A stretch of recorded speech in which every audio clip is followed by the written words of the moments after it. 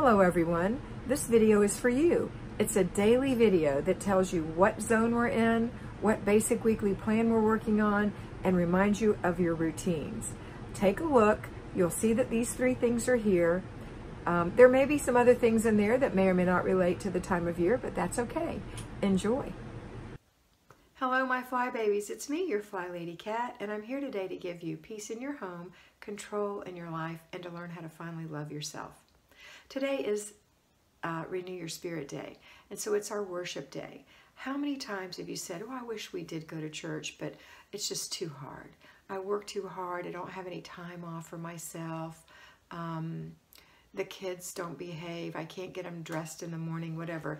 This will fix it, and that's the Fly Lady system. So remember to talk about it the day before. We're going to church tomorrow. You give them your expectations.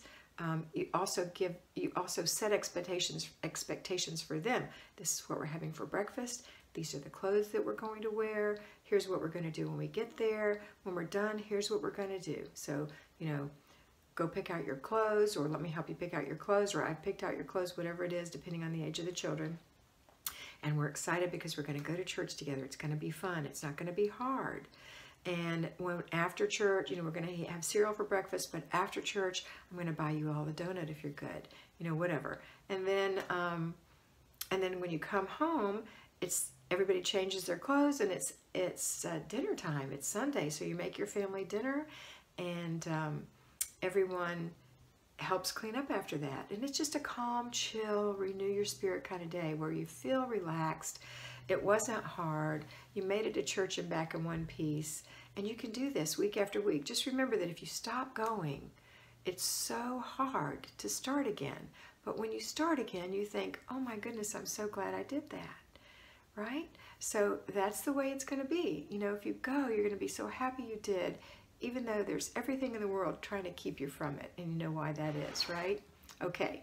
All right. So that's it. Just two things routines and um, Renew Your Spirit Day. We're going to have the routines of uh, uh, morning routines for yourself and the children, any little chores you have to do in the morning, and then you're going to have after dinner routine and later before bed routine. Don't forget to check your planner twice a day.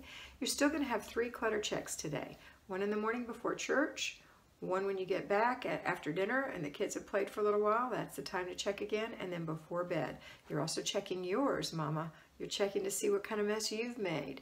And everybody's going to remember to complete the process. We're going to teach this to our children and to ourselves as the day progresses. Don't forget to check your planner tonight. I know you're going to have a fabulous week this week. You're going to be so much better because you renewed your spirit today, and that makes a big difference. Have a fabulous day, and always remember that you are beautiful. Bye. I hope you enjoyed that, and I know that you're going to have a great time in your house today. Remember to focus on getting it done first, fast, make it fun, and get it finished. Complete the process, and don't let those little things bug you that you see that are for future dates. Use your planner, and always remember that you are beautiful.